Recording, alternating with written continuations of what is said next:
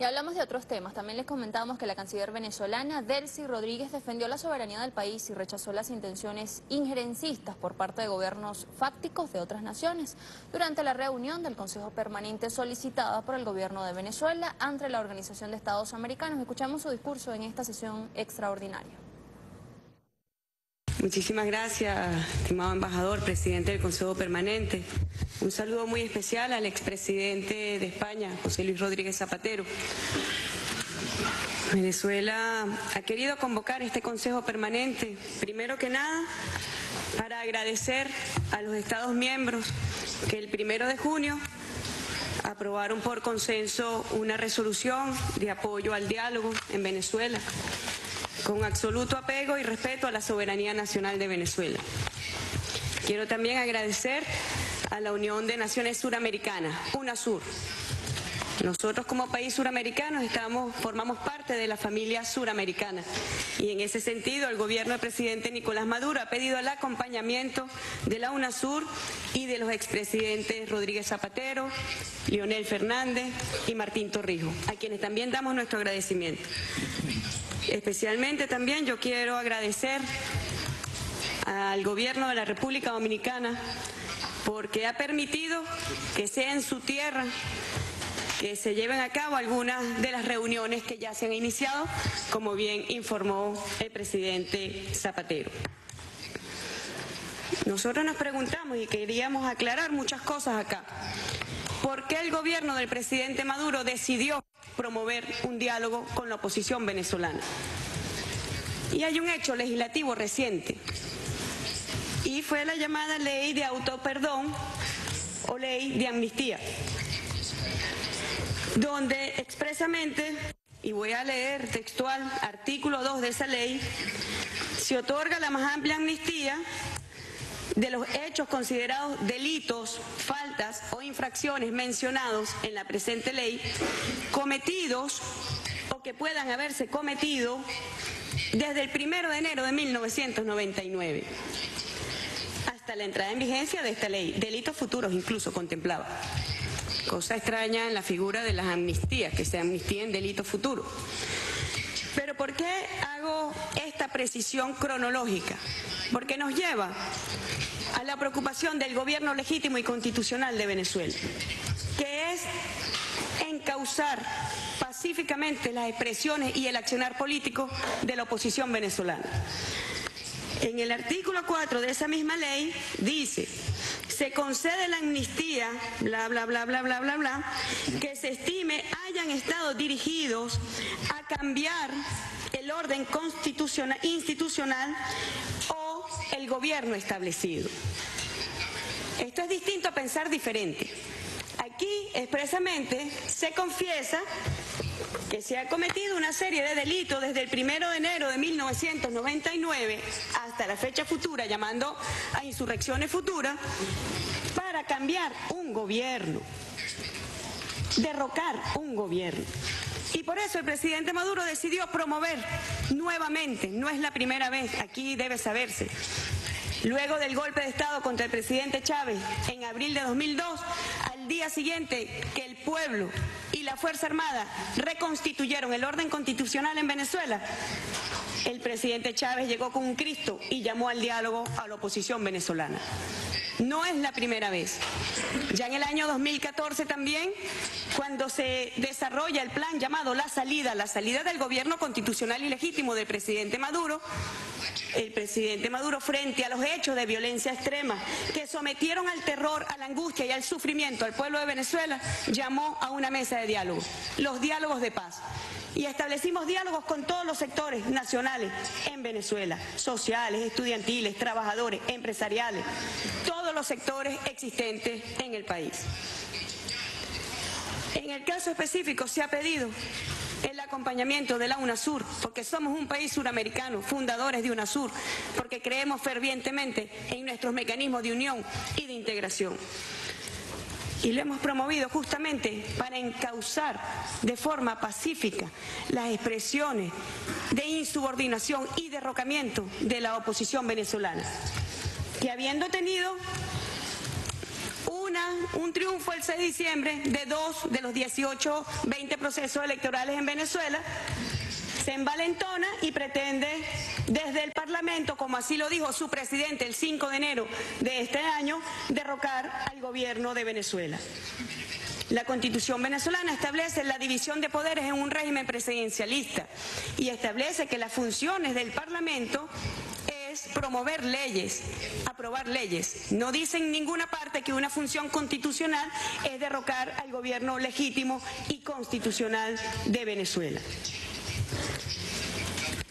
Vemos con preocupación que hay una tendencia peligrosa en esta organización. El día 5 de mayo estuve yo presente en este Consejo Permanente y hablábamos que desde su génesis la Organización de Estados Americanos tiene en su naturaleza dos fuerzas que se confrontan. El Estado de Derecho hemisférico y las pretensiones imperiales del país hegemón de esta región y su área de influencia. Y esa contradicción en su naturaleza jurídica, conceptual y espiritual está presente hoy también en este Consejo Permanente. Hace apenas una semana estábamos en República Dominicana hablando cuyo tema central era el fortalecimiento institucional para el desarrollo sostenible. Pero en fin, el fortalecimiento institucional de la Organización de los Estados Americanos. Y nosotros vemos con preocupación, yo esperé para hablar de última, quería desde un principio haber agradecido al presidente Zapatero, haberles agradecido a los países que apoyaron y apoyan esta gestión de diálogo. Pero he escuchado con preocupación quienes dicen, ha transcurrido mucho tiempo y ustedes no están haciendo un buen trabajo. Pero nosotros en Venezuela llevamos 17 años evitando la violencia en Venezuela de los factores opositores que pretenden el derrocamiento del gobierno constitucional. Y no nos hemos desesperado ni nos vamos a desesperar. La paz merece todo nuestro esfuerzo. La paz merece toda nuestra paciencia y todo nuestro empeño. No ha pasado apenas un mes le exige a este mecanismo, a esta iniciativa de diálogo, que entonces ya no sirve. Y voy a seguir expresando mis preocupaciones de lo que he escuchado acá, porque también he escuchado que como prácticamente eh, no se ha dado un trabajo eficiente en apenas un mes, tratando de encauzar 17 años de violencia que se pretende instaurar en Venezuela, y el gobierno responsablemente ha consolidado el Estado de Derecho. Ustedes lo leyeron en esa confesión que está plasmado en esta ley. Todo lo que hemos hecho para derrocar al gobierno, cambiar al gobierno, no por pensar distinto, no.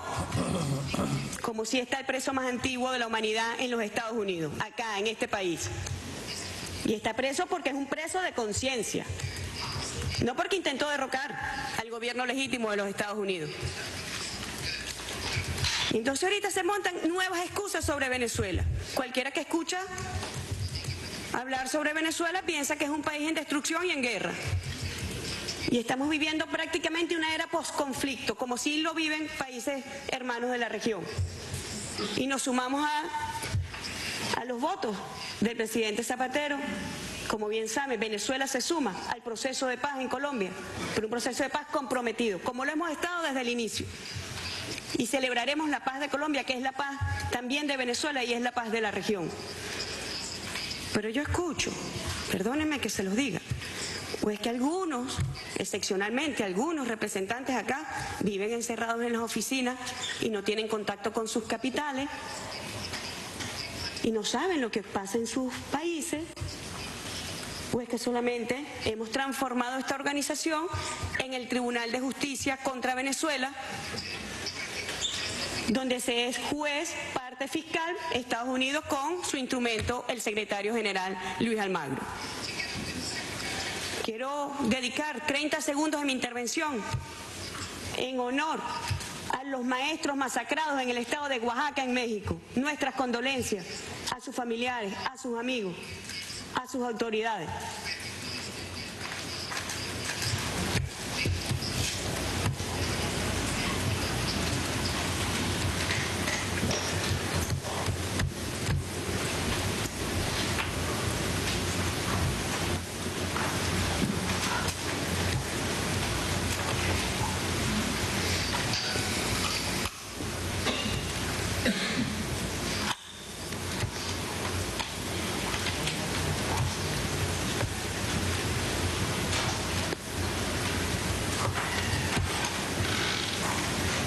Homenaje a los maestros masacrados en el estado de Oaxaca, de los pueblos y del pueblo de Venezuela. Un sentido homenaje, porque sabemos la represión que han sufrido y la bárbara masacre que allí se ha cometido. He escuchado al vicecanciller de Paraguay y realmente, mire, me he contenido durante mucho tiempo, pero tengo que responderle. ¿Cómo pueden hablar de democracia un gobierno que llegó producto de un golpe de Estado? ¿Cómo quién puede hablar de democracia cuando sus autoridades fueron funcionarios de la dictadura de Stroessner? ¿Con qué moral le hablan a Venezuela? Ya basta de doble estándar, ya basta de doble moral para referirse a Venezuela. Venezuela no está siendo juzgada por esta organización. Al igual que yo imagino que el representante de los Estados Unidos está hablando en nombre propio, porque no refleja sentido y el espíritu de la reunión que en privado sostuve con el secretario John Kerry, donde reafirmó el principio de respeto a la igualdad soberana de los estados. Y se lo digo acá y se lo voy a decir siempre. El pueblo de Venezuela no obedece órdenes de los Estados Unidos ni se somete a los designios de los Estados Unidos.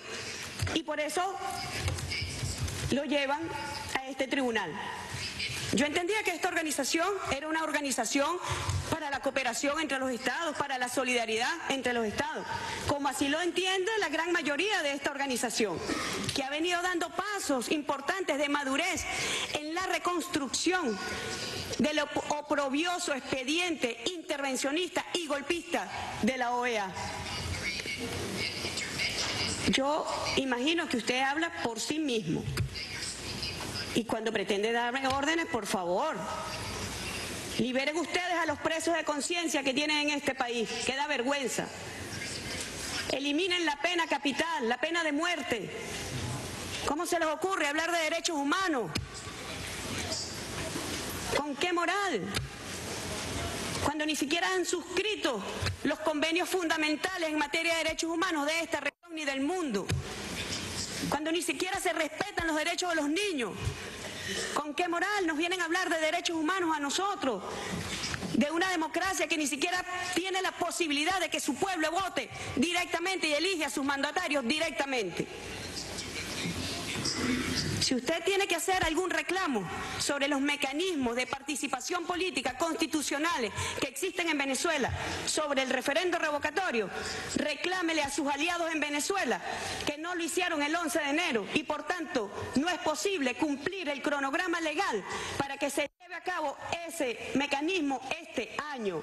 Reclámele a sus aliados, no le reclame al gobierno de Venezuela ni al poder electoral venezolano que somos autónomos, independientes y soberano y estamos llamados además con responsabilidad a hacer respetar el Estado de Derecho en Venezuela. No puede venir ni pretender ningún gobierno extranjero a exigirle a Venezuela que vulnere su Estado de Derecho. Eso es inadmisible.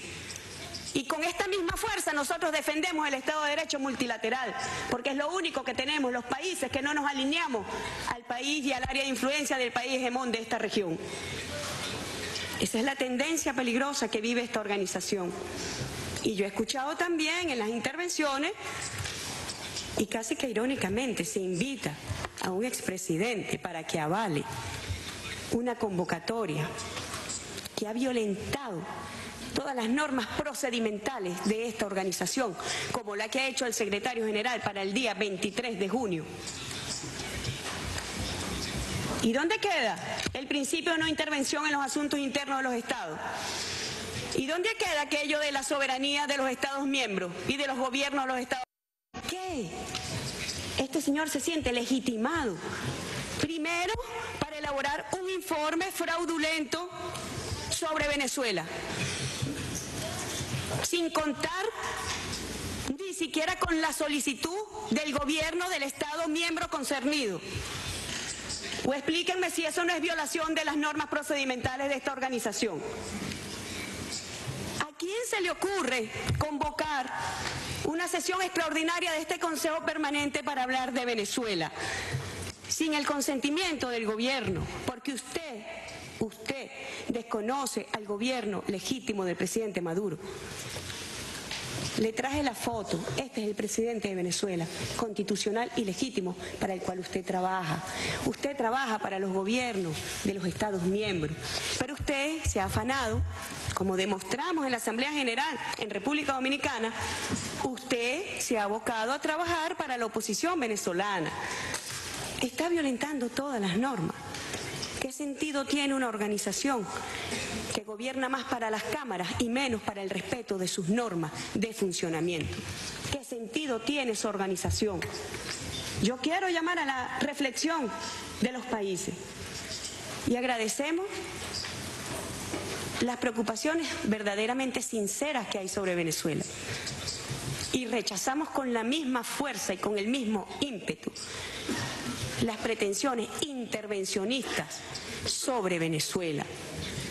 Venezuela no es más ni menos que ninguno de los países que están aquí representados hoy. Venezuela no está sujeta a ningún tipo de supervisión, monitoreo, y todos se dan con el derecho alguno de venir a hablar de lo que se debe hacer y lo que no se debe hacer y a pedirle y hacerle solicitudes al presidente Zapatero que no le corresponden a él, le corresponden al gobierno de Venezuela. Razón por la cual el gobierno decidió invitar al presidente Zapatero. He escuchado sobre un grupo de amigos, lo de mire, dejen, dejen que este proceso de diálogo, si ustedes de verdad tienen interés sincero en él, dejen que prospere, dejen que avance, dejen que los expresidentes y la UNASUR hagan su trabajo. Ustedes saben por qué un sector radical de la derecha venezolana no se ha sentado a dialogar. Porque el secretario general de esta organización les ha ofrecido que el día 23 aplicarán la Carta Democrática a Venezuela, que no hace falta ningún diálogo. Obstaculiza el diálogo en Venezuela. Es la verdad. Y es completamente incongruente la convocatoria y por lo cual nosotros ayer formalmente solicitamos al presidente del Consejo Permanente se declare la inadmisibilidad de esa convocatoria, violatoria de todas las normas procedimentales. Basta ya de sabotear el diálogo. Dejen que los presidentes hagan su trabajo. Dejen que UNASUR haga su trabajo. Y dejen de apoyar desde la Secretaría General de esta organización, con apoyo de algunos países excepcionales, repito, excepcionales, que apoyan a los factores violentos que pretenden persistentemente derrocar el gobierno del presidente Nicolás Maduro. Eso sería una acción responsable de esta organización. Creo que República Dominicana nos dejó lecciones históricas. La primera lección histórica, la resolución que por unanimidad nosotros apoyamos en desagravio al pueblo de República Dominicana por la invasión de los Estados Unidos en 1965 con apoyo de esta organización. Fue una expresión de madurez. Los países hemos madurado, hemos evolucionado en la defensa de nuestra soberanía, de nuestra independencia, en la defensa de los principios que inspiran esta organización. Y la segunda tuvo que ver con la moción de censura implícita que se llevó el secretario general, donde se le pide, se le manifiesta nuestra preocupación por la constante violación de las normas en el ejercicio de su actuación. E implícitamente se le dice respete las normas de la organización porque vamos a un proceso de fortalecimiento institucional. Es lo único que está diciendo Venezuela. Nosotros con OEA o sin OEA vamos a defender a nuestro país. Pero también estamos haciendo una defensa de la institucionalidad de la Organización de los Estados Americanos porque creemos que es la única forma de garantizar la paz y la estabilidad en la región en la medida que las organizaciones de cooperación, de solidaridad, de integración, de unidad puedan permanecer en el cauce de la legalidad y del respeto al Estado de Derecho multilateral e internacional. Avalar lo contrario sentaría un precedente terrible en esta organización y así quiero ratificárselo al presidente del Consejo Permanente. Estaríamos sentando un precedente terrible cuando aquí cualquier país miembro se sienta en la atribución sin el consentimiento del Estado miembro concernido, se sienta con la atribución, la fuerza y la potestad de estar promoviendo reuniones y de estar promoviendo informes fraudulentos.